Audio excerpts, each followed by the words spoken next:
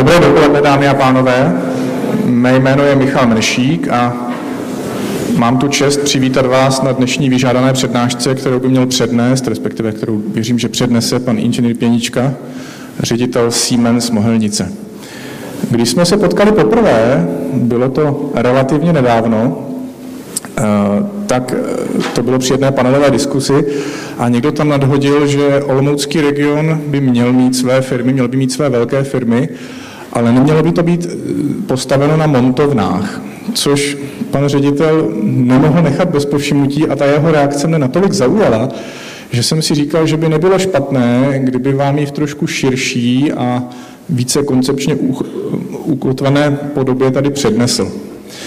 A z toho rozhovoru vyplynulo ještě něco, a to mě osobně velmi potěšilo a ukázalo se, že vlastně zprostředkovaně se s panem ředitelem naše škola zná už delší dobu, protože jestli jsem dával dobře pozor, tak jeho dcera je absolventkou naší vysoké školy. Pane řediteli, vítejte a máte slovo. Já děkuji, dobrý den. Dámy a pánové, chtěl bych poděkovat za tu příležitost eh, dneska tady prezentovat eh, nejenom eh, názory moje a předpokládám názory i firmy Siemens na otázku montoven, ale chtěl bych využít té příležitosti tady dneska vám trošku blíž přiblížit firmu Siemens. A až v závěru vlastně, nebo v té druhé části eh, té mé prezentace eh, bych, bych se věnoval trošku víc eh, té tematice montoven.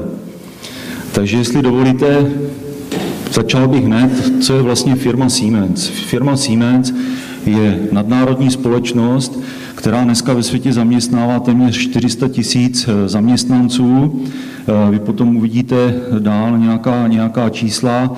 Hlavní, vlastně je to původem německá firma, eh, kterou založil eh, Werner von Siemens eh, v roce 1847 a vlastně začal tehdy s výrobou telegrafů ještě s panem Halske a později se osamostatnil, jakým způsobem se rozešli.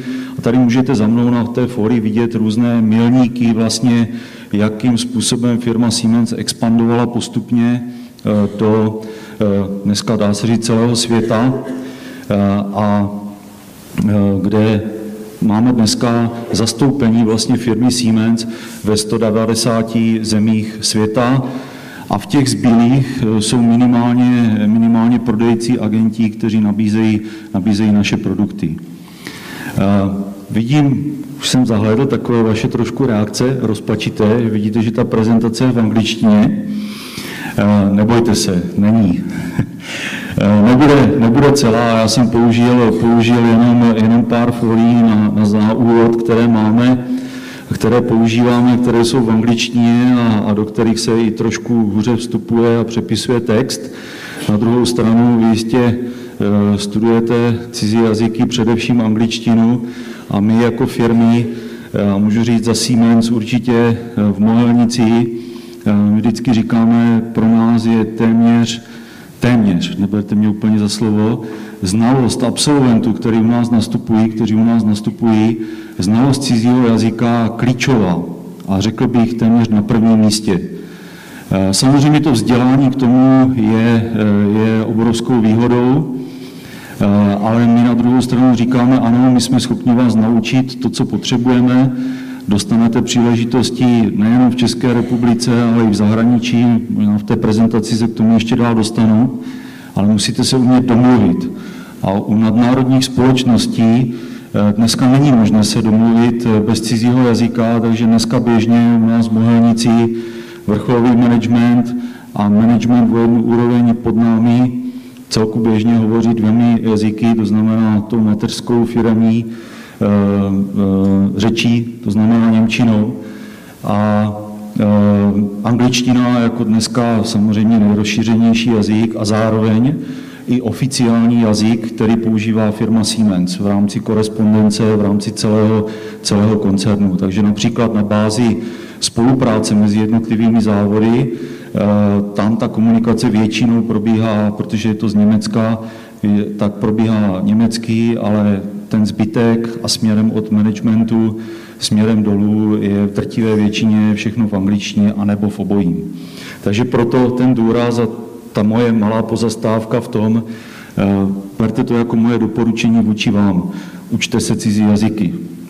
Bez nich máte daleko menší šanci se dostat na nějaké zajímavé pozice a růst ve vašem profesním životě. Zpátky k firmě Siemens. Takže tady vidíte, vidíte takové srovnání, kam se za ty roky působení firmy Siemens na trhu celosvětovém, kam se eh, celá ta historie, historie posunula. Eh, můžete tady, tady vidět eh, vlastně na těch, na těch prezentacích, Siemens byla vlastně první firma, která položila, položila kabel mezi dvěma kontinenty na dně oceánu. Dneska se zaměřujeme, jedno ze zaměření vlastně firmy Siemens je na výrobu energií, eh, především alternativních energií a jedna obrovská oblast eh, se nazývá wind power, to znamená větrné elektrárny. Jsme výrobci větrných elektráren. Co je dneska například velice zajímavé, tak víte, že se začíná hodně mluvit a už se dostává i hodně do praxe otázka elektromobilů. Existují nějaké odhady, že do roku 2025 bude jezdit po světě až 25% elektromobilů z celkového počtu vozidel. Tady je jedna zajímavost eh, v prostřed, na tom, na tom levém obrázku vidíte první elektromobil, který vyráběla firma Siemens a vyráběla ho již v roce 1905. Bylo to v Americe ve spolupráci, to vozidlo se jmenovalo Victoria a bylo to ve spolupráci eh, s Fordem. No a dneska eh, vlastně Siemens nabízí řešení pohonu, kde se dají použít i naše motory, samozřejmě trošku přizpůsobené konstrukci u nás Mohelnice. A tady to zelené auto, no to není až tak úplně dobře vidět, je to Porsche, eh, s kterým jezdil, jezdil londýnský starosta před dvěmi lety eh, po Londýně při dnech ekologie, ekologických dnech jezdil s ním po Londýně a propagoval elektromobily, které neprodukují škodliviny. Ten poslední obrázek se, se týká medicínské techniky. Siemens eh, vlastně má obrovský vývoj v oblasti medicínské techniky. Nalevo vidíte první, první přístroj, rentgenový přístroj, který dokázal nějakým způsobem nahlédnout dovnitř těla. Eh, napravo potom vidíte jeden z posledních modelů, 3D, eh, vlastně trojrozměrného eh, skeneru, eh, skeneru lidského těla, který dokáže během 3 sekund zpracovat vlastně v 3D podobě kompletní podobu vlastně lidského těla, včetně orgánů uvnitř, zaměřit se na detaily orgánů vevnitř a podobně. To je vývoj technologie, kterou táhne firma Siemens. Teď mi dovolte, abych, se trošku, abych vám trošku přiblížil to, jak vypadá organizace takové obrovské firmy, nadnárodní společnosti, jak, jak vypadá Siemens. Ta organizace je nesmírně komplikovaná. Já můžu říct za sebe, že pracuji pro, pro Siemens od roku 1994 a do dneška mám občas problém při nějakých změnách se v té organizaci zorientovat, protože je to tak komplikované, že je to opravdu problém. Eh, Siemens používá dneska maticovou organizaci, a má takzvanou organizaci sektorovou a klástrovou. Sektorová organizace se zaměřuje na technické obory a technické směry, ve kterých se Siemens prezentuje. Ty můžete vidět tady na levé straně, jsou to dneska čtyři oblasti. Ta první je oblast industry, to znamená průmyslu, průmyslové aplikace. Ta e, druhá je poměrně nová, byla založena před dvěma, dvěmi lety, Infrastructure and Cities. Je to vlastně oblast, eh, která se zaměřuje právě na trendy ve světě, kdy dneska rostou eh, velké aglomerace. Lidská populace se v poslední době soustředuje čím dál více do velkých aglomerací a s tím vznikají nové výzvy pro technologická řešení eh, těchto aglomerací, přenos energie, doprava, řízení vlastně celých těch velkých aglomerací. Proto vznikla před eh, dvěmi lety, ta, nebo vznikl tento sektor, který se zaměřuje na tuto oblast. Potom je oblast energy, eh, kde eh, je to vlastně rozděleno na oblast výroby elektrické energie a přenos elektrické energie. A tu poslední oblast už jsem tady zmínil, je to oblast té, té zdravotnické techniky. Když se podíváme z pohledu Mohelnice, našeho závodu, jsme výrobci elektromotoru, dostanu se k tomu později, tak my patříme právě do eh, divize, divize nebo sektoru, eh, sektoru industry, který má čtyři divize, má dalších, dalších tuším 8 nebo 12 eh, business unit, to znamená obchodních oblastí, a, a člení se dál potom ještě v té struktuře. Eh, my patříme do té, eh, do té divize Drive Technologies, to znamená eh, technologie pohonu a dál se k tomu, k tomu dostanu později. Co se týká té druhé osy matice organizace, tak, tak to je vlastně ta klástrová. Ta klástrová organizace je především zaměřená na prodej, to znamená, že eh, vlastně celý svět je rozdělen do jednotlivých klástrů a Česká republika konkrétně eh, je zařazená do, do klástru střední a východní Evropy, kde sídlo toho klástru je ve Vídní a patří sem země od České republiky až někde po Kazachstán. A vlastně eh, ten klástr má pod sebou vlastně ty jednotlivé země a funguje to tak, že, že vlastně uh, v těch jednotlivých zemích ta, ta jedna společnost, to obchodní zastoupení, zastupuje všechny ty oblasti výrobků, které, které Siemens vyrábí a nabízí je eh, našim zákazníkům jako celkové řešení. To znamená, naší snahou je nenabízet jednotlivé produkty, ale nabízet kompletní řešení zákazníkovi jeho problému.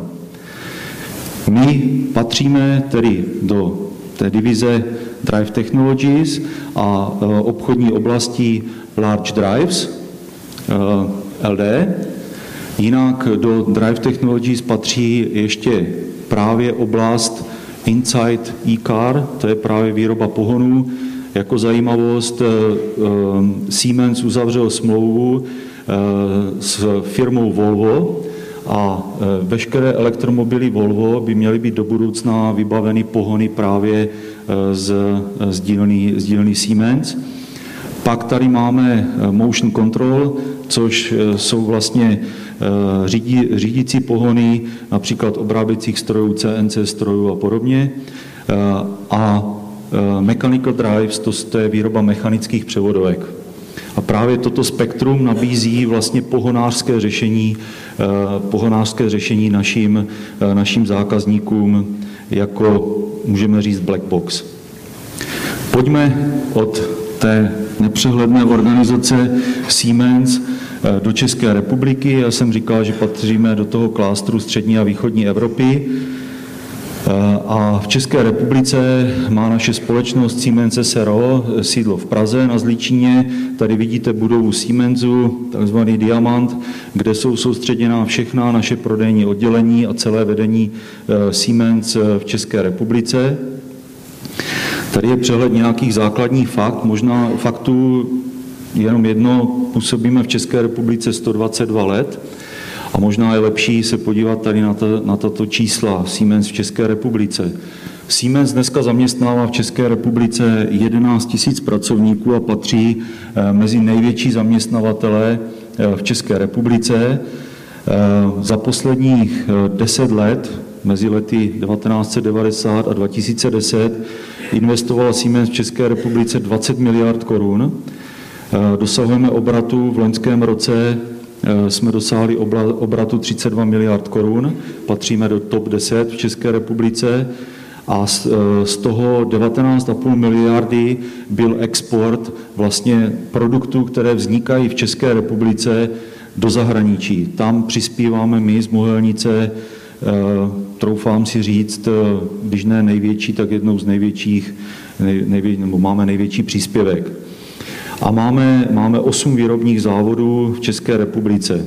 Když se na to podíváme trošku blíže, tady vidíte přehled, kde všude najdete Siemens, zastoupení přímo firmy Siemens. Modré jsou, jsou prodejní oddělení, co je z mého pohledu důležité, to je ta výroba 8 výrobních závodů.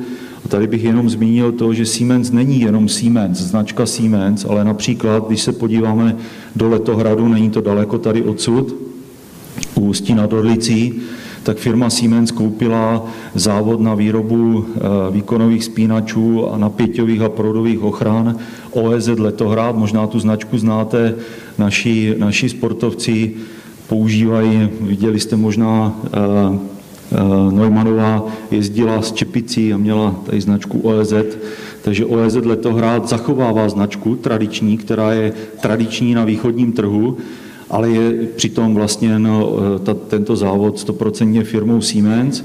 Druhé, druhá známá značka, eh, kde má výrobní základnu v Bruntálu. Když se podíváte tady nahoru na tu osvětlovací techniku, eh, tak jistě znáte firmu Osram. Málo kdo asi ví, že, že Osram je rovněž stoprocentně vlastněn firmou Siemens a je součástí celého koncernu Siemens. Je to docela běžné, že Siemens, Siemens vstupuje do těchto výrobních, výrobních závodů nebo do tohoto portfolia a používá dál tu tradiční značku a doplňuje si tím to spektrum, spektrum vlastně výrobků, aby mohl nabízet zákazníkům to komplexní řešení. Eh, znovu bych už tady opakoval, i v České republice nabízíme ty stejné produkty, všechny v té celé škále, tak jak má Siemens v těch jednotlivých sektorech eh, ve své nabídce. Eh, co jsou naše hodnoty, které reprezentujeme? Především je to špičkový výkon. Naši zákazníci jsou zvyklí na 100% kvalitu, o které nikdo nediskutuje. Pokud se hovoří o, o kvalitě u firmy Siemens, nikdo nediskutuje o této oblasti, bere se jako naprostá samozřejmost excelentně krátké dodací lhuty a samozřejmě, samozřejmě to, to komplexní řešení. Eh, inovativní přístup. Siemens je jedna, jedna eh, bych řekl, z největších přispěvatelů inovací, vývoje nových řešení vůbec celosvětovém měřítku. A samozřejmě pro nás je důležitá ta oblast a speciálně si myslím, že pro Českou republiku, když pokud sledujete, sledujete zprávy dneska v novinách dnes a denně, tak je odpovědné podnikání, což pro nás znamená to, že, eh, že eh, děláme čisté obchody, že neděláme žádné nepoctivé obchody a i náš nejvyšší šéf, pan Leše, říká, než bychom udělali nějaký obchod, který není čistý, tak ho raději neuděláme vůbec. Takže to je naše odpovědnost. Na druhé straně máme eh, a chováme i velkou společenskou odpovědnost.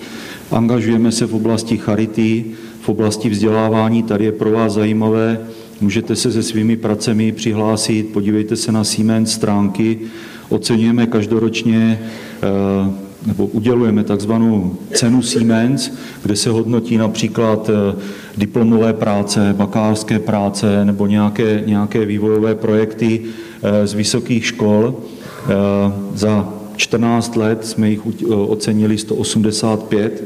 Je to určitě zajímavé. Je to nejenom morální ocenění, ale samozřejmě součástí toho je i finanční ocenění. Takže zkuste se podívat, jestli by to nebylo, nebylo i pro vás nebo pro vaše studenty zajímavé. Eh, je pro nás nesmírně důležité eh, i odpovědné podnikání z pohledu eh, témat ochrany životního prostředí, takže veškeré produkty Siemens se vyvíjí i s tímto aspektem, s důrazem na ochranu životního prostředí, vyvíjíme speciální technologie na úspory, úspory nebo na, na redukci emisí a i v našich výrobních lokalitách eh, veškeré naše aplikace splňují nejpřísnější ekologická kritéria. Pojďme ale teď už do Mohelnice, která je tady kousek, kousek od Olomouce. Eh, jak už tady padlo, v České republice eh, máme jednu firmu, SROčko Siemens, SRO, se sídlem v Praze a ta má odštěpné závody a právě jedním z nich je náš mohelnický závod na výrobu eh, asynchronních eh, elektromotorů. Ještě bych jenom tady znovu zdůraznil to, naše obchodní oblast Large Tribes, velké pohony, nabízí vlastně dneska dvě, dva takové základní produkty. Jsou to elektromotory, respektive generátory o výkonu 100 W až, 5, až 50 MW v Evropě ta výrobní základna je především v České republice, v Mohelnici, ve Frenštátě pod Radoštěm a ty největší motory, generátory vyrábíme v Drásově u Brna. A zároveň k těmto motorům dodáváme i měníče frekvence, protože náš elektromotor a synchronní elektromotor má standardní otáčky, které se nedají měnit jinak, než právě eh, mění, nebo efektivně, energeticky efektivně měnit jinak, než právě pomocí eh, měníčů. A ty vyrábíme ať už nízkonapěťové nebo středně napěťové, ale u nás v Mohelnici je nevyrábíme, vyrábíme pouze, pouze elektromotory. Ta naše výrobní oblast, eh, nebo ta, výrob, ta obchodní oblast, Raj Drives, Tady si můžete představit tu, tu světovou velikost. Takhle, takhle vypadá ta organizace a výrobní základna, kterou, kterou máme vlastně po, po celém světě. Máme 26 výrobních, výrobních závodů a říkáme, že eh, nebo máme takovou filozofii ve firmě, eh, která dneska je taky hodně diskutovaná.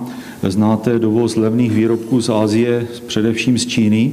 Naše filozofie nebo filozofie firmy Siemens je taková, že eh, vlastně eh, vyrábíme tam, kde máme naše zákazníky, protože jednou z obrovských předností našich je nabízet, nabízet servis. To, co vám tady teďka, teďka vykládám, možná zdánlivě nesouvisí s tím tématem montovny, ale ono je to s tím velice úzce, úzce spojeno. Já pak na to, na to ještě, ještě dál potom upozorním, ale je to právě ta, ta otázka toho spojení a té blízkosti zákazníkovi a samozřejmě i logistických výkonů, ale dostanu se k tomu později. Ta naše filozofie říká, že nebo podle té naší filozofie být ne tam, kde jsou naši zákazníci, tam i vyrábět, eh, tak eh, je vlastně postavena na tom, že jsme rozdělili celosvětové lokality dneska na tři části, takzvaný trouhelník, kdy pro evropský trh vlastně vyrábíme a máme výrobní základnu v Evropě, kde dneska se dá říct, že ta, ta hlavní část je, je v Německu a v České republice. Máme výrobní základnu, máme výrobní základnu pro americký trh v Americe nebo na americkém kontinentu a v Ázii základnu pro azijský trh. A můžeme říct, že vlastně takové nebo podobné motory, které vyrábíme u nás v Mohelnici, vyrábíme i v Mexiku, v Guadalajare. Tím důvodem, nebo těch důvodů je samozřejmě i víc, je to ta blízkost zákazníkovi, ale samozřejmě je to i to, že motory, elektromotory se vyrábí podle nějakých uznávaných mezinárodních norem a například elektromotory v Evropě vyrábíme logicky podle evropských norem a v Americe platí takzvaná NEMA norma, to znamená pro Severní Ameriku, takže tady vyrábíme podle, podle této normy a samozřejmě CCC norma eh, v pro čínský trh zase máme stejnou výrobní základnu a stejné, stejné elektromotory eh, vyrábíme i v Changu v Číně. Já říkám stejné elektromotory, ono to není až tak úplně pravda, protože samozřejmě naše produkty přizpůsobujeme i, eh, i tomu danému trhu. To znamená, že například, eh, například máme ty trhy rozděleny do takzvaných tří oblastí, M1, M2, M3. M1 jsou naprosto špičkové, eh, špičková zařízení, špičkové produkty, určené především do těch rozvinutých zemí. Na druhou stranu například výrobky eh, v Číně, řada z nich je určená pro takzvaný trh M3, což znamená, že je to ten, ten, eh, ten trh, který odpovídá tomu stavu té techniky v té dané zemi, to znamená v Číně. A když bychom se třeba, třeba podívali tady na měníče, tak konkrétně to poznáte třeba v konstrukci toho měníče, kdybyste postavili vedle sebe měníč na stejný výkon v, eh, v Evropě a v Ázii, tak ten vypadá podstatně jinak, je daleko odolnější vůči prachu, vůči, vůči povětrnostním vlivům a podobně, protože ta úroveň toho průmyslu a té průmyslové základny je v té Číně jiná, než je tady v Evropě. Ale na druhou stranu eh, i v Ázii přibývá samozřejmě zahraničního kapitálu a tyto firmy chtějí aplikace a výrobky, které znají z Evropy. Chtějí tu kvalitu. To znamená, tuto kvalitu my potom musíme nabízet a eh, zatím ve většině případů tyto aplikace vozíme třeba z Evropy, z Evropy do Číny. Co je ale pro nás, pro nás důležité a, a hodně, myslím si hodně důležité i pro Českou republiku, Eh, že nemáme tu filozofii, že bychom vozili levné elektromotory eh, z Číny k nám, že bychom je Siemens jako Siemens vyráběli v, České, eh, v Číně a vozili třeba do České republiky nebo do Německa. Tuto filozofii nemáme a já vám řeknu, řeknu později v té prezentaci o tom trošičku víc. Třífázové elektromotory to je naše hlavní, hlavní výrobní spektrum. Tady vidíte jakousi řadu, řadu těch elektromotorů, které vyrábíme. Především s hliníkovou kostrou, to je, ta, pardon, to je tady ta, ta oblast toho motoru, která chladí ten motor při jeho provozu. Vyrábíme jednofázové motory, vyrábíme i, i motory z šedé litiny. Eh, já jsem vám ukazoval ty jednotlivé, jednotlivé eh, sektory našich produktů. Tady můžete vidět konkrétní aplikace. Tady na tomto obrázku bych rád vám, vám ukázal vlastně to propojení té firmy Siemens v té široké nabídce vlastně těch, těch produktů, které máme. Eh, a eh, Třeba jsem říkal, že tady v oblasti dopravních prostředků je to zvláštní, zvláštní sektor, ale my do něj třeba do vlaku dodáváme speciálně vyvinuté motory pro ventilátory, které chladí, eh, chladí měníče a vlastně pohony těch trakčních motorů, které pohání například, například vlaky, eh, anebo, nebo například tramvaje ve městech. Když se podíváme na lodě, tak konkrétně třeba na lodích eh, jsou dýzlové motory, které jsou napojeny na generátory, ty vyrábí elektrickou energii a tyto generátory chladí, se chladí mořskou vodou a pumpy, které pumpují vlastně tu, tu chladící vodu, eh, tak eh, vlastně pohání naše motory z mohelnice. Či nabízíme zase kompletní řešení našemu zákazníkovi. Válcovny třeba v České republice, těžba surovin, cementárny a tak dále. Eh, zajímavá věc, možná si řeknete, naše malé motory, větrné elektrárny, dneska není problém, už se vyrábí větrné elektrárny až do výkonu 25 MW, tak my třeba vyrábíme pro, pro tyto větrné elektrárny malé motory, které řídí vlastně na naklápění těch lopatek eh, toho větrného, toho, toho větrníku na té větrné elektráně podle síly větru.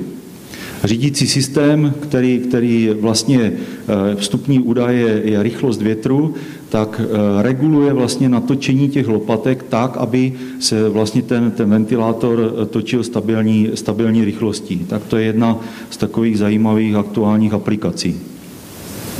Jinak naši zákazníci jsou především, už to tady padlo, výrobci, výrobci ventilátorů, výrobci převodovek, čerpadel a dopravních systémů.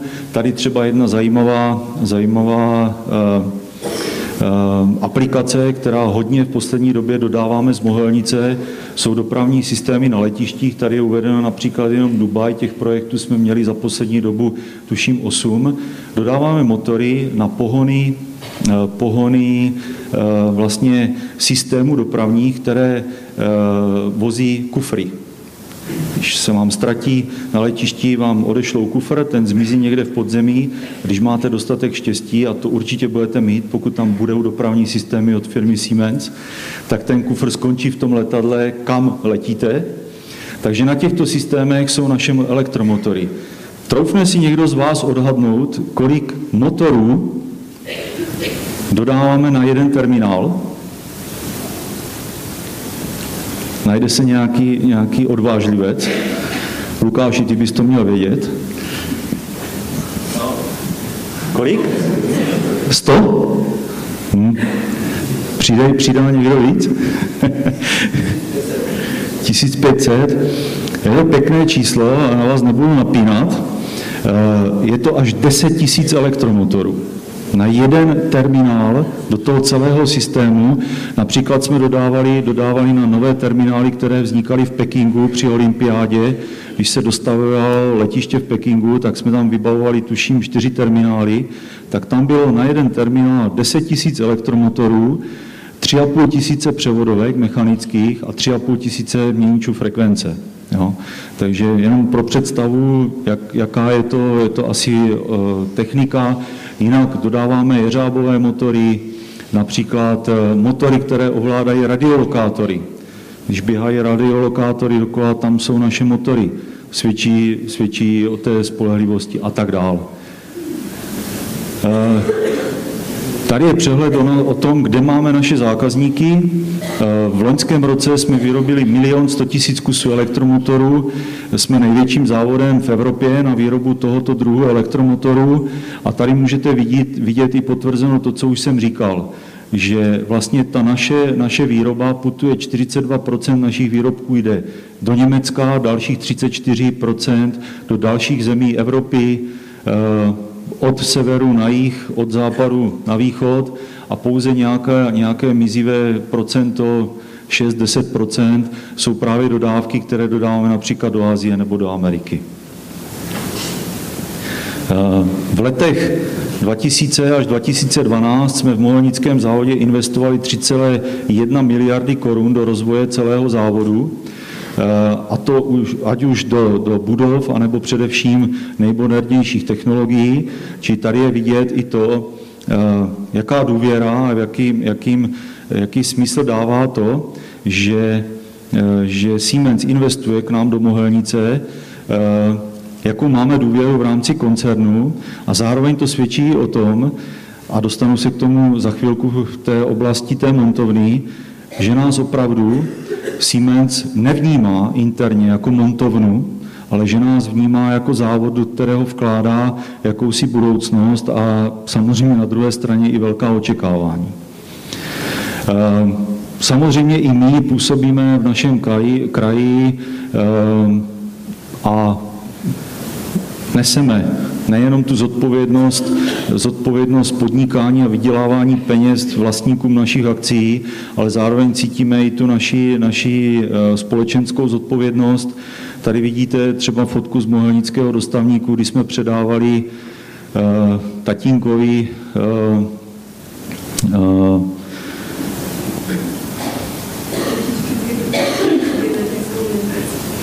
holčičky s genetickou nemocí, rodině Láníkových, a já si nemůžu vzpomenout to křesní jméno, Michalka, Michalka, děkuji.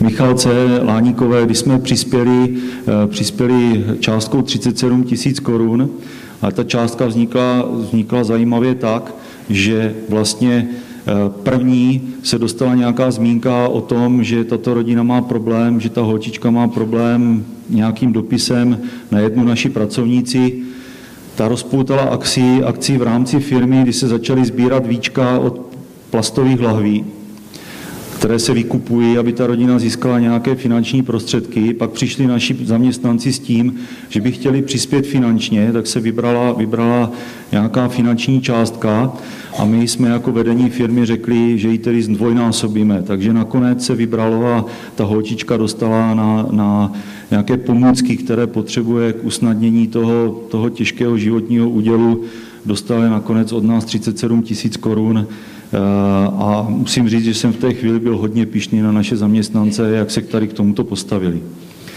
Jinak eh, máme různé tituly podnik podporující zdraví. V loňském roce jsme jako první firma v Olomouckém kraji získali titul Bezpečný podnik a e, Samozřejmě pomáháme i v tom regionu, zaměřujeme se na podporu dětí a mládeže, seniorů a podporu handicapovaných. V loňském roce jsme rozdali, rozdali asi 388 tisíc korun e, na, na různé akce nebo různým organizacím. E, Tady ještě taková možná zajímavost pro vás. My samozřejmě zaměstnáváme zaměstnance u nás, v Mohelnici, ale co se třeba moc neví, tak je to, že dáváme práci třeba i do Mírovské věznice. Má to pro nás i jistá pozitiva. Eh, na jedné straně je ta výroba tam pro nás relativně laciná, na druhé straně samozřejmě státu nějakým způsobem pomáháme zaměstnávat eh, tyto lidi. Pro nás to má ale taky pozitivum to, že tam nemáme v podstatě žádnou fluktuaci, eh, neutíkají tam zaměstnanci, a jsou tam stabilně zaměstnaní 8 a více let, takže i to je pro nás jakési pozitivum. Jinak pořádáme například turnaj pro vozíčkáře z celé republiky, už 17 ročníků, podporujeme, podporujeme i dom, dům seniorů. Tak, to byl takový průlet nad, nad firmou Siemens a teď bych se dostal k tomu hlavnímu tématu té mé dnešní, dnešní přednášky a to je otázka montoven. Proč a jak nebýt montovnou? Eh, co je to vlastně montovna? Jak, jak se vnímá vlastně montovna?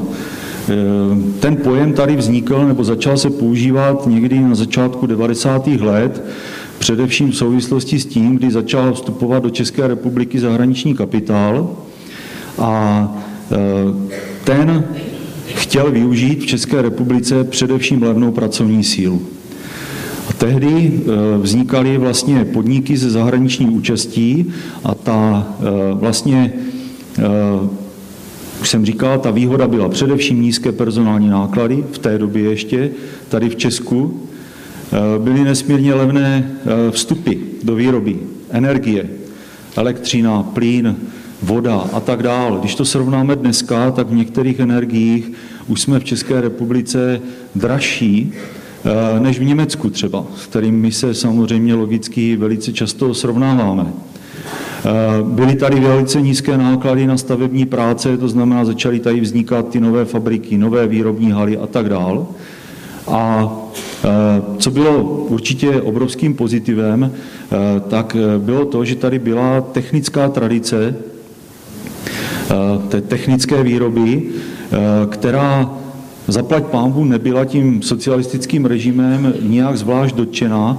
I v té době socialismu technické vzdělání vlastně v České republice bylo stále na velice vysoké úrovni eh, a i ten zahraniční kapitál tady toto velice oceňoval. Takže tohle, tohle byly, byly ty výhody, které táhly semka zahraniční kapitál.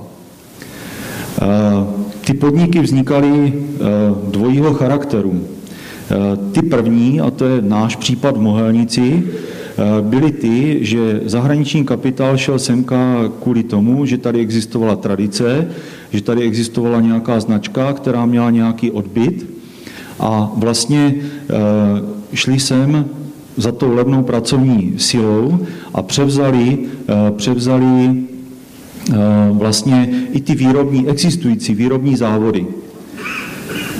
Ta druhá forma byla ta, tady je příklad taky z Mohelnice, možná znáte firmu Hela Autotechnik, která vyrábí osvětlovací techniku na auta, tak ti přišli do Mohelnice a začali na zelené louce, postavili novou fabriku a přesunuli vlastně výrobu. A to byl ten, ten hlavní, eh, hlavní, bylo to hlavní moto. Eh, zaměření na výrobu, Eh, často se přesouvala i výrobní technologie, my jsme ji tedy měli, ale nebyla příliš, příliš moderní. Do Heli například se stěhovali, stěhovali technická, technická zařízení.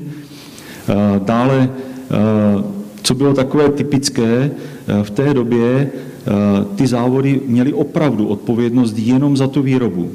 Nic jiného toho, toho ty zahraniční firmy, firmy nezajímalo, šli do těch firm využít tu nákladovou, nákladovou výhodu, chtěli vyrábět, to znamená, že dodali jednak technologické zařízení, jednak dodali dokumentaci k tomu, to znamená, ta dokumentace tady vůbec, vůbec nevznikala, přišla jako hotová, dodali hotový produkt a pouze se vyrábělo.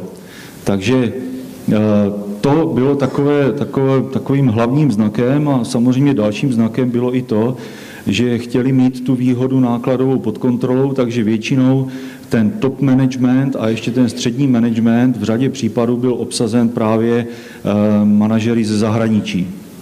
Takže to byly, to byly takové ty, ty zásadní, zásadní eh, výhody těch montoven a eh, na těchto základech byly postaveny. Teď je otázkou, pojďme se chvilku podívat na to, jestli tato výhoda, ta hlavní výhoda, výhoda té, té levné pracovní síly pořád ještě u nás v Česku platí. Eh, pojďme porovnat náš logický pohled, německá firma, porovnejme Českou republiku a Německo.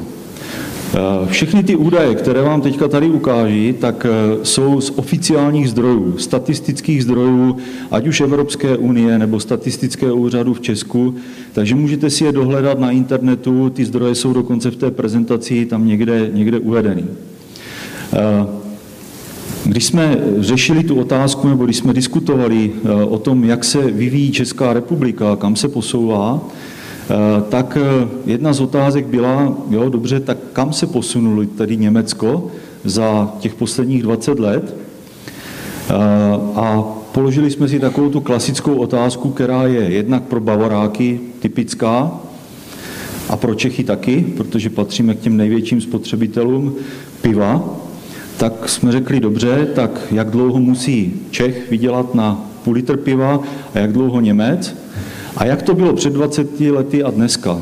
A e, poměrně velkým překvapením jsme došli k závěru, že vlastně e, v Německu musí ten člověk pracovat stejnou dobu na to, aby si vydělal na jedno pivo, e, dneska tak, jako musel před 20 lety. To znamená, že ta kupní síla vlastně v Německu se nějakým zásadním způsobem za ty poslední roky eh, nezměnila.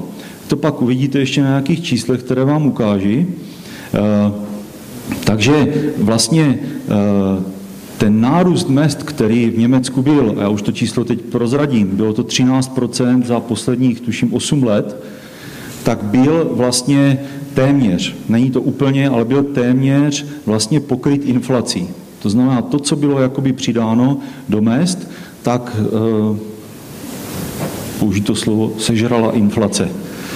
Jo? Takže de facto mají pořád stejnou kupní sílu. E, pak samozřejmě, když se podíváme na porovnání vlastně mzdových nákladů, tak tady vidíte na té, na té levé straně Eh, porovnání vlastně růstu, růstu mest eh, v tuzemské měně. A to je, to je, prosím vás, nesmírně důležité, dostanu se k tomu v tom dalším bodu, v té lokální měně té, té každé země, růst vlastně eh, mest mezi lety 2002 a 2000, 2010 v procentech. Když se podíváme na Německo, tak vidíte, že v Německu rostly mzdy o 13% v tomto období. Když se podíváme na Českou republiku, tak u nás to bylo 46% když se podíváme na další země, které jsme tady vybrali, nebyl v tom nějaký zvláštní zájem nebo eh, nějaký záměr, pardon, tak eh, například, když se podíváme, co je pro nás eh, zajímavé, Čína, že jo, dneska, tak v Číně za stejnou dobu narostly mzdy o 137% A rekordmanem, kterého jsme našli, tak byla Ukrajina, s růstem 418% 418% narostly mzdy za těch 8 let na Ukrajině. Na první pohled to vypadá jako fantastické číslo, ale vydržme a pojďme se podívat dál. Eh, na tom druhém grafu, tady vpravo, eh, vlastně ukazujeme ten vliv eh, té lokální měny. Česká koruna, jak jistě víte, tak za poslední roky poměrně dost zesílila, což pro nás jako občany eh, může být vnímáno jako velká, velká výhoda. Logicky často se uvádí a píše se v novinách, že díky tomu, že koruna posílila, že jsme si nechali korunu a nepřešli jsme na euro, takže nás vyjde levněji dovolená v zahraničí. No, kolik, o jaké částce se bavíme? O 2 tisíce, o 3 tisíce, jednou za rok, některé rodiny možná za tři roky se dostanou na dovolenou do zahraničí a podobně. Na druhou stranu, eh, to posílení české koruny pro výrobce tady a především pro zahraniční kapitál u nás znamená zdražení nákladu. Logicky. Eh, když se podíváme, eh, podíváme tady na tento graf, tak ten říká, že česká koruna, nebo začněme nahoře, tady vidíte nulu, Německo, logicky má euro, srovnáváme se s eurem, takže tady žádný vliv není. Čili zůstává jenom ten mzdový nárůst o 13% Když to u nás v České republice máme českou korunu, Česká koruna za to stejné období, za těch 8 let, posílila o 22 jo, O 22 e, Například brazilská měna vzrostla nebo posílila o 21% a Tady znovu upozorňuji, ona Ukrajina s růstem mest 418% naopak ukrajinská měna devalvovala o 51% To znamená, přestože zvedli mzdy, tak vlastně díky devalvaci eh, ty náklady tam nerostly o 415% ale samozřejmě přepočteno, eh, jako by ta měna zdevalvovala ten nárůst o těch 51 jo? Eh, přibližme si to ale na, na konkrétním případu v České republice, co to znamená pro zaměstnavatele. Vezměme klidně Siemens, který šel do České republiky a chtěl mít nákladovou výhodu, tak to, jaké, jaké je to porovnání, ten dopad. Často se říká, ano, je to nepříznivé pro, pro ty výrobce a to, ale málo kdo chápe, v čem to spočívá.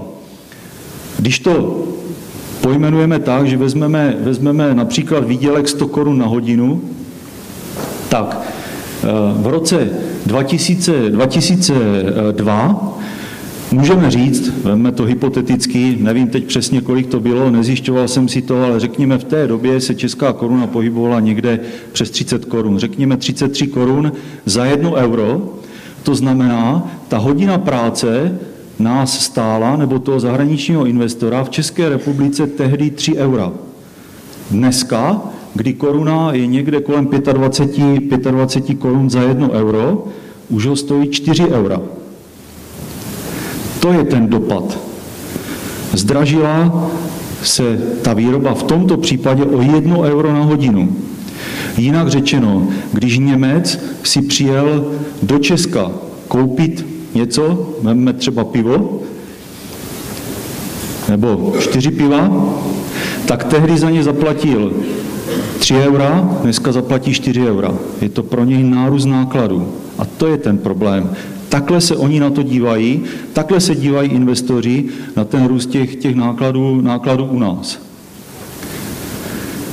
To znamená, když potom vezmeme tyto dva aspekty dohromady, možná to nepřečtete úplně nahoře, ta čísla, Eh, tak vlastně je tady, je tady porovnáno to, co jsem říkal před chvílkou a je to dáno jasně do nějaké relace, přepočteno. To znamená, když vezmeme eh, vlastně ten nárůst, eh, nárůst mest 13% v Německu a u nás, nebo řekněme personálních nákladů, ať jsem přesnější, ne mest, ale personálních nákladů, tak vlastně v Německu je to 13%, ale u nás 46% nárůst mest posílení mění, mění o 22%, čili v celkovém přepočtu eh, je to nárůst personálních nákladů o 78% v porovnání s 13% v Německu.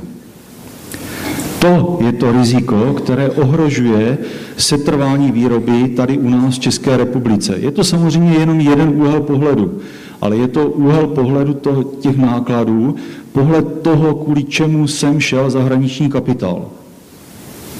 Tady to vidíte potom, potom zhrnuto, zhrnuto dole.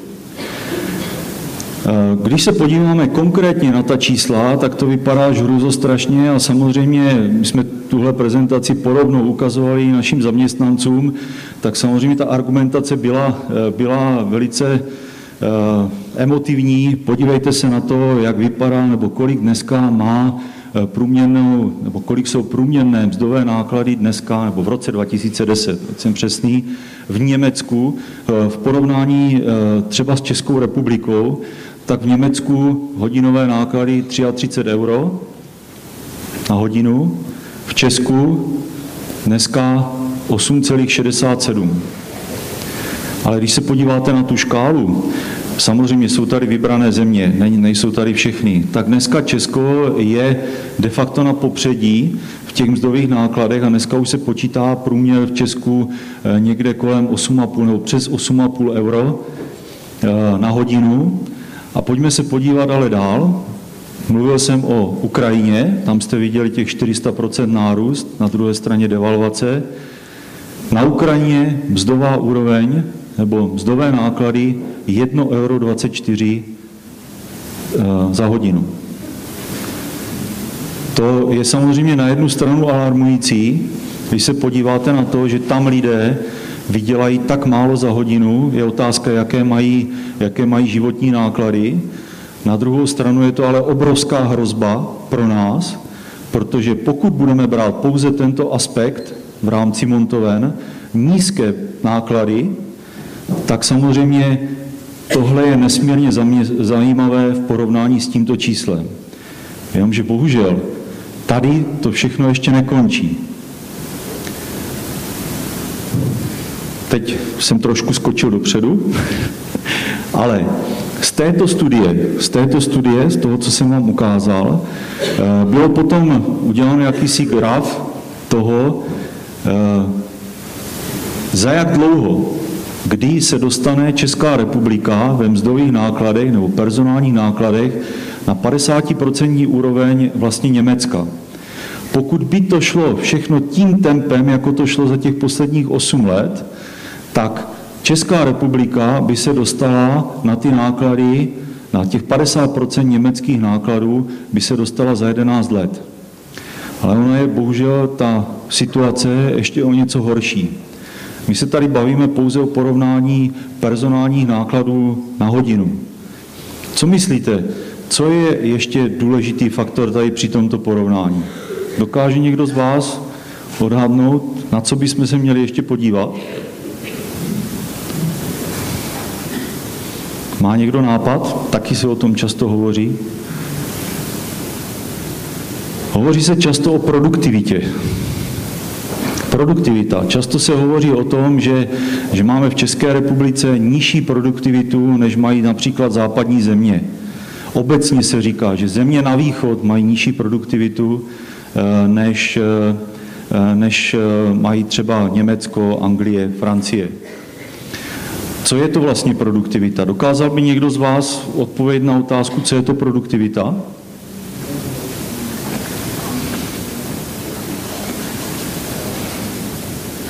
Nikdo nemá odvahu? Nebo myšlenku? No, samozřejmě, měřit produktivitu můžeme, já řeknu, berte mě z rezervou na tisíc způsobů, na sto způsobů. Eh, pojďme se podívat na to, jak ji měří oficiální, oficiální statistiky. Oficiální statistiky vlastně měří produktivitu jako hrubý domácí produkt na zaměstnance. Tady je přehled, zase asi nevidíte ty čísla, není to účelem, abyste je viděli, eh, ne, že bych chtěl před vámi něco schovávat, to ne, to bych si nedovolil. Ale samozřejmě to hlavní je to, tady je přehled jednotlivých evropských zemí, kde je vzata úroveň průměr 27 evropských zemí, eh, srovnání té produktivity měřeno jako hrubý domácí produkt na zaměstnance. To znamená, když se podíváte na tento řádek, tak tady vidíte všude stovku, to znamená, ten průměr Evropské unie, těch 27 zemí, je bráno jako 100%. A vůči této průměrné úrovni se porovnávají jednotlivé země. Když se podíváme tady nahoru, tak tady vidíte, že Česká republika se někde pohybuje, nebo pohybovala se od roku, eh, od roku 2000 do roku 2010 někde průměrně kolem 75%, ten průměr je tady 74,3%. To znamená, že máme o nějakých 16, 17% nižší produktivitu než eh, průměr Evropské unie.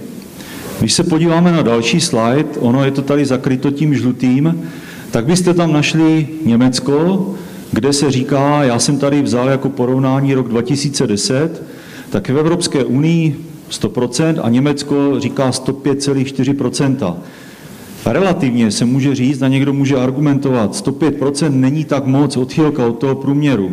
Samozřejmě ale je otázkou matematicky, kdo ten průměr, průměr eh, vlastně dělá, nebo z čeho vzniká. Je rozdíl, jestli eh, do toho průměru vstupuje Česká republika s 5 miliony obyvatel, nebo pracujících, tak, anebo Německo s 50 miliony tak samozřejmě ten, ten vliv toho Německa potom v tom statistickém údaji je daleko větší. Proto ta odchylka u toho Německa není tak velká od toho evropského průměru. Samozřejmě ten průměr tvoří především ty největší země, kde je největší počet obyvatel Německo, Francie, Anglie a tak dále. Když se podíváme třeba na Slovensko, tak to je velice zajímavý údaj, tady najednou můžete vidět, že na Slovensku dneska produktivita je brána 81% a je vyšší zhruba o nějakých 8% než v České republice. On do toho vstupuje i ten vliv toho, že Slovensko už tady přešlo, eh, přešlo na euro. Jo, takže eh, i tohle tam do toho trošku zahrává, protože to hrubý domácí produkt, tak to do toho zahrává Česká republika 73,4%, ale to nejzavějímavější nebo to nejdůležitější tady z tohoto rozdíl mezi produktivitou eh, v Německu a v České republice měřeno tímto ukazatelem je 32% My třeba měříme produktivitu u nás ve firmě například produktivita jako přidaná hodnota na zaměstnance, kterou vytváříme, nebo další spousta ukazatelů, ale jeden takový třeba praktický ukazatel, který, který se hodně používá eh, právě ve výrobních firmách, je porovnání eh, toho, a to je to, kde dostáváme třeba argumenty a my se srovnáváme s Německem a musím říct, že toto jsou statistická čísla. My v Mohelnici máme srovnatelnou produktivitu, jako má výroba v Německu elektromotorů. My to měříme přes minuty. Minuty. Kolik minut potřebujeme na to, aby jsme v Mohelnici vyrobili jeden elektromotor a kolik potřebují v Německu? Jo, to je ta otázka, jestli naši lidi pracují pomaleji, jestli jsou méně zruční a tak dále. Sto dalších vlivů. My to měříme třeba přes minuty. Takže to v praxi znamená, že když sem přijde zahraniční kapitál, a nebudu brát teďka náš závod, takže pracovník eh, v Česku potřebuje o 30% více času na to, aby vytvořil stejnou hodnotu, jakou, jakou vytvoří, vytvoří ten Němec. To znamená, že tuto produktivitu, tento rozdíl v produktivitě je potřeba ještě přičíst vlastně eh, těm personálním nákladům. To znamená, že ten rozdíl potom v těch nákladech v Německu a u nás je o těch 30% ještě menší. My spotřebujeme o 30% víc času, platíme na hodinu, to znamená, že ten personální náklad těch 8-16 je vlastně o ještě 30% vyšší. To znamená, že ta díra mezi 50% v Německu a u nás je ve skutečnosti ne 11, 11 let, ale je možná někde 8, 8, 9 let. To je to riziko. Takže ta největší, největší rizika, která, která my vidíme, nebo která já vidím eh, pro, eh, pro to zachování vlastně výroby tady v České republice, je, jsou ta, že tady rostou velkým tempem personální náklady, eh, Rostou tady náklady i na energie výrazným způsobem, stavební práce a tak dále, to znamená náklady na rozvoj. V dnešní době, nebo ještě možná, možná dodám jednu věc, taková zkušenost, zkušenost z fabriky. Kdybyste se podívali před deseti lety do fabriky u nás, do montovny, tak tam bylo velice často to, že byla, byla velký obsah manuální práce. Byla téměř nulová nebo velice nízká automatizace. Proč tomu tak bylo? Právě proto, že investice do nové technologie, moderní technologie, které jsou náročné, tak aby se vyplácely, tak musí nahradit vlastně ty personální náklady těch lidí. My jsme měli zkušenost takovou konkrétně v naviárně, eh, kde navíjíme motory, kde dělá spousta žen, tady je také spousta žen. My máme u nás ve firmě přes 40% žen v průmyslové výrobě a ta největší část z nich vkládá vynutí do elektromotoru, což je velice náročná práce, ale máme i stroje, které dokážou to vynutí zatáhnout. A my jsme tehdy počítali jednu investici na koupí jednoho toho stroje. Tehdy to vycházelo z pohledu mzdových nákladů tak, aby se ta mašina vyplatila, tak kdyby jsme ji měli koupit v Německu, při těch mzdových nákladech v Německu, tak ta mašina musela nahradit tři lidi. Tři lidi musela nahradit jejich práci, aby se vyplatila. Kolik myslíte, že to bylo v Česku?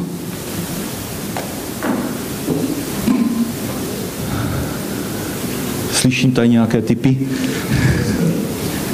Deset? No, bylo to téměř desetkrát tolik. Bylo to 27 lidí. A vyplývá to z toho, z těch, z těch, z těch mzdových nákladů, samozřejmě tehdy byl ten poměr někde, někde mezi, na začátku to bylo až 10, 1 ku 10, 1 ku 8. Dneska, když počítáme personální náklady mezi Německem a námi, ono to bylo vidět i tady, to, to si z toho lehce spočítá, jak jsme někde v poměru 1 ku 4. Jo?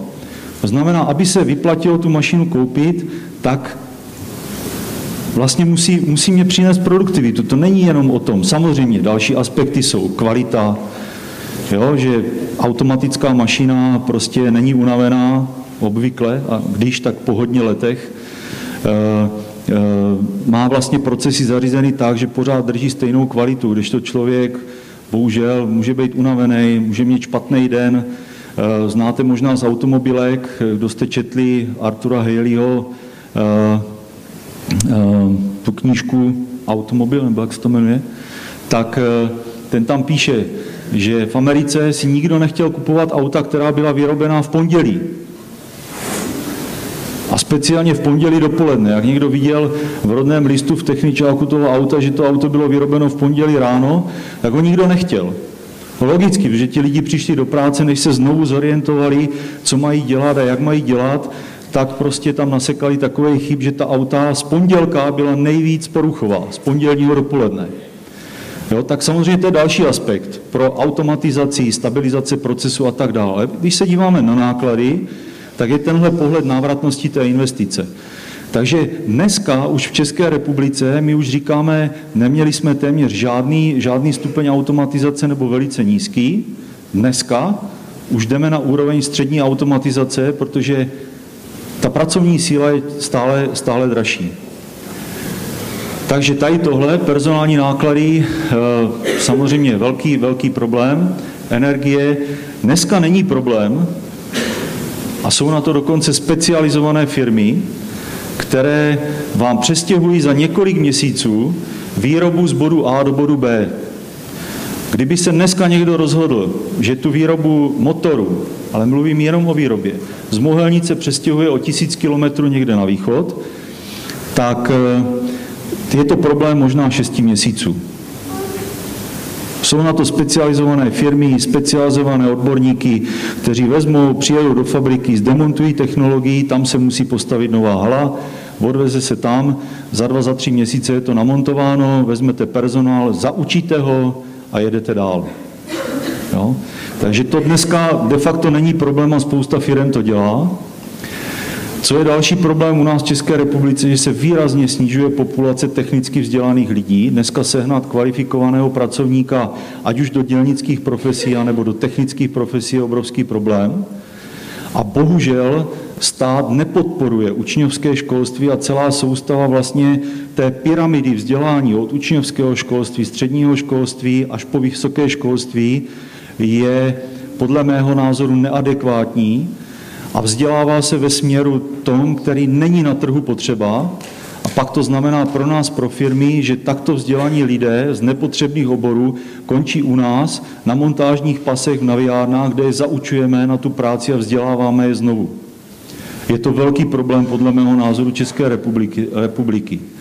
A co je ještě navíc alarmující, dneska už je to v České republice, republice i tak, že je řada ryze českých firm, které přesouvají svoji výrobu na východ, protože je to tam prostě levnější.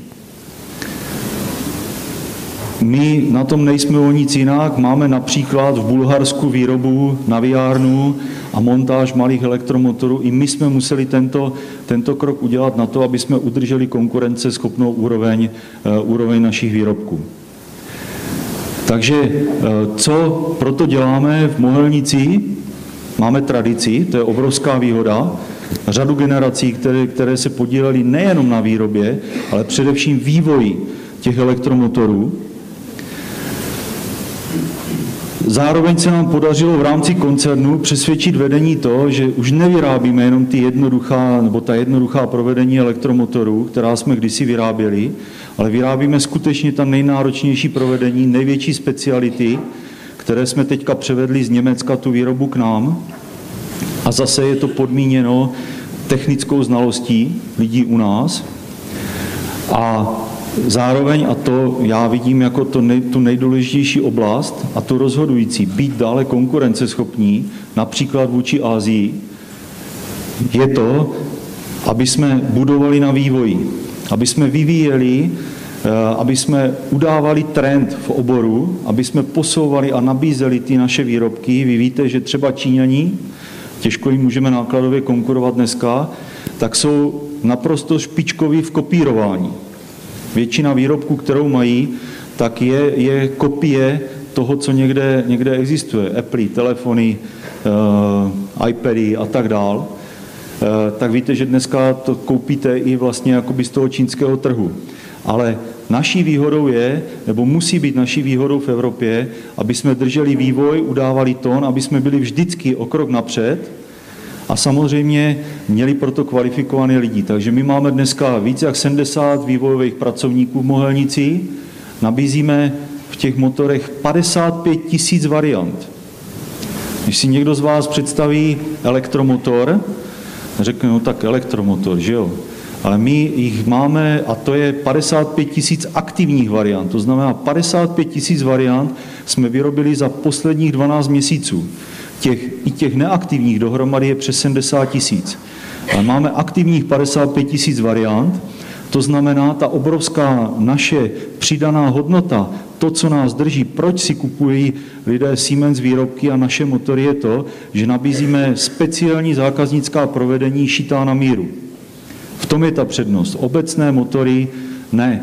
Já vždycky uvádím takový příklad. Když budu já soukromý zemědělec, a budu mít nějaký fukár na slámu a budu dvakrát do roka foukat někde, někde do stodolí na podstřechu slámu, tak si nekoupím elektromotor od Siemense. Je prostě hodně drahý, moc drahý. Koupím si ten čínský. Stačí, ne, neprobuzuji každý den. Když ale budu postavit takovou budovu, jako je tady ta, kde se teďka zrovna nacházíme, a jsou tady ty výtahy a, a nevím, jaká jsou tam schodiště, ale určitě je to problém vyběhnout nahoru. Hasiči tady běhají, že? Ano. Tak asi, asi to není až taková, taková, taková sranda, eh, když by ty motory fungovaly tak, jak mnohdy fungují některé čínské výrobky, že by ty výtahy co chvíli stály, tak to ochromí celou tady tu budovu. Letiště, že by se tam zadrhly ty motory, Eh, tak prostě zavazadla nedoputují a tak dál. To je ta naše výhoda. Kvalita, rychlé dodací lhuty a špičková technologická řešení s garancí pro našeho zákazníka. To si myslím, že budoucnost nejen vývoje, ale především udržení výroby eh, v České republice. Tak, to je ode mě vše. Byl to jenom úzký pohled na věc. Já vám děkuji za pozornost. Možná jsem některé nudil, možná některé, některé, někteří si z toho něco odnesou. V každém případě děkuji za pozornost a e, Nabízím třeba i návštěvu u nás ve firmě, pokud byste organizovali třeba ze školou nějakou exkurzi, určitě je to možné. Ale samozřejmě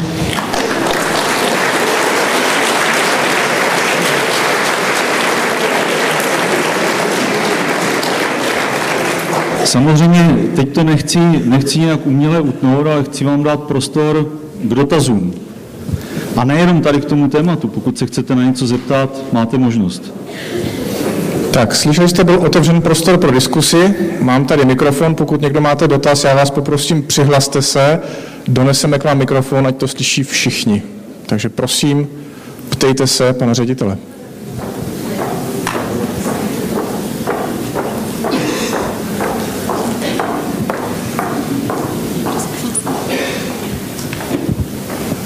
Jako obvykle nemáte příliš chutí pokládat první otázku, tak bych ji položil s dovolením já. Když jsem se díval na tu první část prezentace, kdy jste nás tak jako seznamoval vlastně, kdo to je nebo co to je Siemens, tak jsem si vzpomněl na jeden z Murphyho zákonů, který říkal, rozrůstání plodí složitost a složitost plodí zánik. Máte ve firmě nějakou hodnotu, nástroj, prostě něco, co vám umožňuje třeba lépe než ostatním, nestratit kontrolu nad tímto, já nevím, jak pojmenovat takový subjekt, ale nadnárodní společnost mi přijde příliš nezabarvená citově, nad, tím, nad touhle jako příšerou z hlediska organizace a komunikace? No, lehčí otázku jste mi dát nemohl. Eh, recept. Jako recept je, já teď nechci, nechci kopírovat našeho pana prezidenta, ten recept je trh. Recept je trh samozřejmě, protože pokud by nebyly naše výrobky konkurenceschopné, tak eh, to bude znamenat ten postupný zánik. To je takový ten hlavní indikátor toho, protože každá ta, ta e, samostatná jednotka v rámci Siemense, ať už je to opravdu ten náš závod, nebo prostě jedna ta, ta obchodní oblast a tak dále, v celé té struktuře se musí vyplácet musí přinášet nějaké zisky, musí, musí přinášet eh, zhodnocení investice našim akcionářům. To je ten, ten hlavní tahoun. Na druhou stranu tady musím říct i když doufám, že mi tady nikdo neposlouchá, samozřejmě někdy i ty struktury, struktury, které v rámci tak obrovského koncernu, jako je Siemens, jsou skutečně ubíjející. Jo, jsou skutečně ubíjející a, a e, takový ten trend, Eh, ono je to jako po spirále, takže ono se říká, říká, že ten vývoj jde po spirále, že se dostáváme eh, ke stejným problémům znovu, ale samozřejmě nikdy nevstupujeme do stejné řeky. Takže dneska třeba Siemens, a já doufám, že už se dostává na ten vrchol, na ten horizont v oblasti centralizace, s kterými máme obrovské problémy, Eh, musím říct, eh, jednak je jak si strávit vnitřně a jednak i z pohledu nákladové stránky, tak já doufám, že přijde znovu ten bod v té, v té spirále, kdy ta centralizace bude nižší. Řeknu jenom, jenom takové dva případy za všechno. Eh, ono je to samozřejmě z Mohlenice těžké posuzovat, posuzovat z toho našeho lokálního pohledu. Takže zkusím, zkusím, eh, zkusím takové dva příklady. Samozřejmě snahou je tě, té centralizace redukovat náklady. Takže například ještě před třemi lety jsme měli zprávu budov u nás ve firmě kompletně v naší kompetenci. Před třemi lety jsme předali veškeré budovy, pozemky a všechno jsme předali na takzvanou organizaci Siemens Real Estate, což je celosvětová organizace, která spravuje a stará se tady o tyto, eh, o tyto nemovité majetky. A samozřejmě bylo nám vysvětleno to, že to bude pro nás levnější, že to bude z centrály, ušetříme náklady a tak dál. A byli jsme zděšení na konci, když jsme dostali rozpis těch nákladů na nájem, který vycházel nákladově o 50 milionů víc, než, než jsme měli sami. A samozřejmě vysvětlení bylo takové, ano, je to klástrovská organizace, rozpočítává, jsou nějaké rozpočítávací klíče na ty náklady a samozřejmě pro Českou republiku eh, v těch nákladech to vychází špatně, u nás zdražení, naopak v jiných zemích, například v Rakousku a, a jinde, to vychází levněji. Což v praxi znamená, že celý Siemens na tom vydělá, Mohelnice na tom prodělá. Má s tím prostě problém. Ten zásadní problém je ten, že tyto náklady jdou potom do výrobku a ten výrobek se uměle zdražuje. My jsme takové náklady tady skutečně neměli a musíme s ním samozřejmě bojovat. Jo, čili eh, toto je třeba jedna z nevýhod jakési centralizace, eh, a já znovu říkám, on další je například financial bundling. My nemáme dneska v Mohelnici účtárnu, máme jenom controlling. Veškeré, veškeré účty, možná slyšíte nebo četli jste nějaké inzeráty, kdo máte zájem, tady je, je ekonomická škola v Ostravě, pořád nabírají. V Ostravě je centrum Siemens, kde se schází všechny faktury ze všech lokací v Evropě. A zpracovávají se centrálně, je tam, abych neřekl číslo, nevím, Moniko, jestli neznáte to číslo, kolem 200 účtařů, tuším, je to v Ostravě. Je 200 účtařů, kteří účtují všechny, všechny faktury, všechny doklady za celou Evropu. Jo? Ale pro nás to zase stálo o něco víc, než když jsme to měli doma. Takže to jsou ty výzvy v rámci koncernu, kterým, kterým my musíme čelit, ale znovu říkám, každá, každý výrobek, každá výrobní jednotka čelí ten konfrontaci s trhem.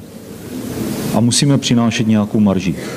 To je ten, ten hlavní, ten hlavní interní, interní jakýsi uh, tahoun, indikátor. A třeba teď zrovna, to vás možná bude zajímat, jsme ukončili kolektivní vyjednání jednání s naším odborovou organizací na příští obchodní rok, který máme mimochodem od začátku října do konce září. Zvyšujeme mzdy v dělnických profesích o 2,75% ale samozřejmě my si to můžeme dovolit pouze v tom případě, že jinde ušetříme. To znamená, musíme růstem produktivity, musíme pokryt tento nárůst mest tak, aby jsme nezdražili naše výrobky. Pokud bychom to nechali padat do zdražování výrobků, začneme se stávat nekonkurenceschopní a může to skončit tak, že ta fabrika se zavře.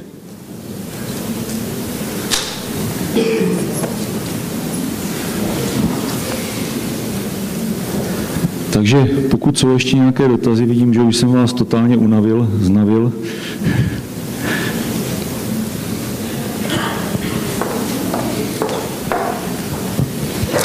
Bych se zeptal jenom krátce k tomu vývojovému centru nebo vývoji u vás v Mohelnici. Co konkrétně eh, na těch motorech vyvíjíte, případně eh, jestli spolupracujete třeba i se školami nebo se studenty a pak druhý dotaz bude, jestli děláte jenom motory, elektromotory, nebo i třeba elektrogenerátory, nebo nějaké takové takže odpovím první na tu druhou otázku. Generátory neděláme, i když i náš motor se v určité technické aplikaci dá použít jako generátor. Pokud budete točit elektromotorem víc, než jsou jeho asynchronní otáčky, tak se z, z motoru stává generátor a začne produkovat elektrickou energii. Ale neděláme to. Ale lze to třeba použít v nějakých aplikacích, eh, se to dá použít teoreticky. Generátory děláme až větší, větších výkonů. Eh, ty se dělají, už jsem říkal, myslím v Drásově u, u, u Brna. Eh, co se týká vývoje, ten vývoj u firmy Siemens zase, já jsem to, myslím, zmínil někde na začátku, když jsem ukazoval tu výrobu v Evropě, v Americe a, a v Ázii, že máme, máme vlastně pro naše motory stejnou platformu. To znamená, že máme ten motor na první pohled vypadá stejně, když se vyrábí tady v Evropě, eh, v tom Mexiku, anebo v té Číně. Eh, a my máme jednu třetinu z těch, z těch 70 lidí, eh, které máme ve vývoji, tak ta se podílí na mezinárodní vývoji, to je právě ten aspekt mobility, že když k nám chodí lidi a třeba mladí, mladí, mladí absolventi z vysokých škol, tak klademe velký důraz na to, aby byli připraveni cestovat nebo žít třeba dva, tři roky někde v zahraničí. Jo? Náš šéf konstruktor třeba pracoval rok v Číně, dělal tam šéfa vývoje v Číně, rok. Pak byl tři roky eh, v Mexiku, dělal šéfa vývoje v Mexiku, byl tam s celou rodinou i s dětma, firma to platí, ale prostě musí být ten člověk připravený na to, aby, že někam půjde pak dostane taky šance a samozřejmě musí být dobrý, to je jasný. Takže eh, co chci říct, máme stejnou, stejnou tu vývojovou řadu a ta se vyvíjí pro všechny ty lokace stejně a na, od nás se na tom podílí nějakých 20, 25 lidí. Eh, to znamená, že jsou jim zadávány různé vývojové úkoly v rámci jednoho motoru, anebo řekneme, tak dobře, tenhle motor pro takové osové výšky a takového výkonu bude vyvíjený v Mojelnici a my to vyvíjeme celé v rámci nějaké ucelené řady. A pak ta, ty dvě třetiny jsou zaměstnanci, kteří vlastně z té základní platformy vyvíjejí ta zákaznická provedení, těch 55 tisíc variant, které jsem tady ukazoval. To znamená, že pro nás ten vývoj znamená, my používáme řadu těch komponentů, těch motorů z té základní řady, ale dovyvíjíme třeba speciální hřídele, speciální štíty ložisko a tak dál, podle toho přání toho zákazníka. A třeba to vývojové centrum máme tak, že máme tu speciální zkušebnu, kde jsme schopni zkoušet ten motor nejenom samotný, ale i v té aplikaci pro toho zá, samotného zákazníka ve spojení s jeho zařízením. Takže to je, to je ten vývoj, jak to funguje vlastně, vlastně u nás v Mohelnici. Spolupráci se školami samozřejmě máme. Eh, jsou to v drtivé většině, nebo dneska, Jsou to, jsou to de facto jenom technické školy, spolupracujeme s VUT v Brně, s Baňskou v Ostravě a máme i spolupráci, i když užší, eh, s Vysokou školou eh, v Liberci, Technickou univerzitou v Liberci, a to především proto, že tam je jeden studijní obor, který je pro nás nesmírně zajímavý, a to je mechatronika protože elektromotor ze své podstaty má elektrické prvky, konstrukci a má mechanické prvky. Jo, že už z principu elektromotor je zařízení, které mění elektrickou energii na mechanickou. Takže toto spojení je pro nás ideální a tam ten studijní obor je, takže tam se snažíme, snažíme tam i spolupracovat. Jinak nově nabízíme, nabízíme i studentům stipendia, eh, podporujeme třeba návštěvy u nás, u nás v závodě a podobně, čili ta spolupráce je. Máme nebo měli jsme i nějaké vývojové úkoly, které jsme řešili společně s vysokými školami. Tak, jestli jsem správně rozuměl vašemu příspěvku, tak když se člověk osvědčí v Číně a pak v Mexiku, tak za odměnu může pracovat v Mohelnici. Chápu to tak? No, nakonec by se to že dalo i to vlastně chápat. vrchol kariéry do jisté míry, nebo minimálně kariérní posun? Tak může, může to být samozřejmě vrchol, vrchol kariéry, ale samozřejmě je naprosto k nezaplacení ta zkušenost, jo? Protože my máme prostě klapky na očích a vidíme, jak to funguje, funguje tady u nás v Česku. Já třeba sám za sebe můžu říct, že já jsem pracoval rok v Bad v Německu, kde jsem vedl skupinu Němců, což je jaký velice zajímavá, zajímavá zkušenost. Tehdy ještě jako, jako šéf technologie, tak tam jsem měl na starosti dvě skupiny montáže a naviárnu a rok jsem pracoval přímo v tom, v tom závodě v Německu. Nedocenitelná zkušenost, můžu říct. Doporučuji všem. Náš čas se pomalu nachyluje, tak máme prostor asi ještě pro jeden poslední dotaz. Pokud byste chtěli někdo položit, máte teď právě příležitost. Pokud položit nechcete z nějakého důvodu, tak jenom pro vaši, už vidím, zdá se, že tam jeden dotaz máme. Tak já s dovolením donesu mikrofon.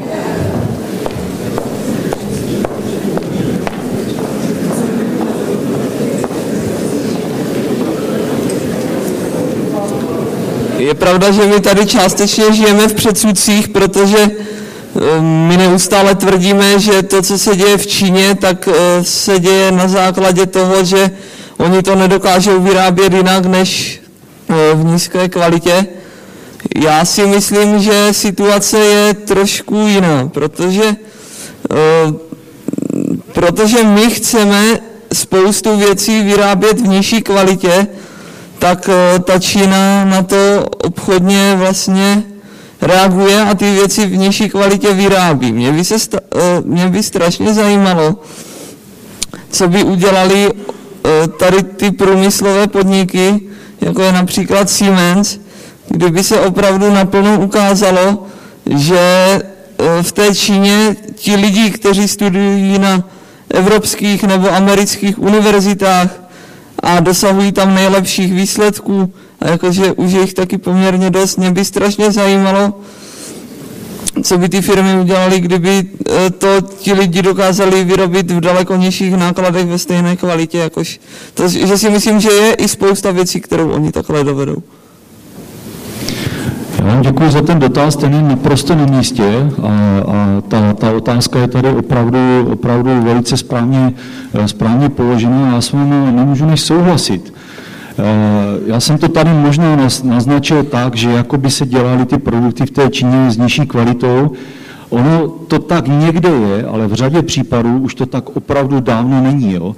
Je pravda, že oni kopírují, ale oni jsou špičkoví v kopírování, ale na druhé straně to, kolik prostředků věnuje Čína v posledních letech eh, například na, na vysoké, eh, vysokoškolská studia, kolik absolventů technických škol chodí, chodí každý rok nebo vychází z těchto škol. Máte pravdu, v řadě, řadě spousta lidí z Číny a z Asie studuje v Evropě, v Americe. že oni opravdu, ta hrozba tady jednoznačně je, že převezmou tu iniciativu a samozřejmě dneska už je, už je na místě, že dneska ekonomika čínská překonává ekonomiku americkou, o tom se běžně, běžně hovoří. Eh, takže v té technice samozřejmě je, je důležité, aby my jsme udávali tón, ale oni nás budou dohánět. To je, to je bez zesporu. Ale ta hlavní výhoda taky, kterou jsem tady možná nezmínil, je ta, já jsem tady mluvil o našich krátkých dodacích lhutách, extrémně krátké dodací lhuty. My máme třeba poměrně široké spektrum elektromotorů, které od příjmu zakázky dodáváme do deseti dnů k zákazníkovi k němu na dvůr. To nemáte šanci z Číny udělat. Eh, samozřejmě, že máme v Číně konkurenty, eh, kteří mají tady sklad a z toho skladu dodávají třeba do třech dnů. My ten sklad máme taky, ty nejjednodušší provedení, eh, jsme schopni dodávat do třech dnů po celé Evropě. To není dneska takový problém ale oni mají ty sklady taky. Proto nám konkurují tady v těchto jednoduchých, jednoduchých provedeních elektromotorů, ale jakmile zabřednete na 55 tisíc variant, tak ty oni nejsou schopni tady nikde držet na skladě, ty se vyrábí na zakázky. A tady vstupuje do hry logistika. A logistika znamená, v dnešním podání samozřejmě, když pominu to, že byste vozili motory letadlem, což jsme taky párkrát zkusili v nějakých krizových situacích, a to teda můžu říct, že nám stála třeba doprava 20 motorů půl milionu, tak eh, eh, když vezmu tu nejlevnější dopravu, a to je doprava lodí, tak běžně to trvá 6 týdnů. Jo, vozíme třeba materiály, odlítky, vozíme i z Indie, takže musíme držet kvůli tomu u nás v Mohelnici zásobu 2 až 3 měsíce těch odlítků e, s rizikem nějakých logistických komplikací a z té Číny dovezete tu specialitu za 6 týdnů nejdřív. Tady je ta naše přednost. Kvalita a rychlost. To jsou naše hlavní dva cíle, které máme, máme ve fabrice. Jinak s vámi naprosto souhlasím, že ta hrozba, že ta Čína dotahuje tu technickou úroveň a že převezme do budoucna možná i nějakou tu, tu, tu, tu pozici, která ukazuje ten směr, kam se ta technika bude vyvíjet. Myslím si, že to v příštích pěti, šesti letech nehrozí, ale později možná ano.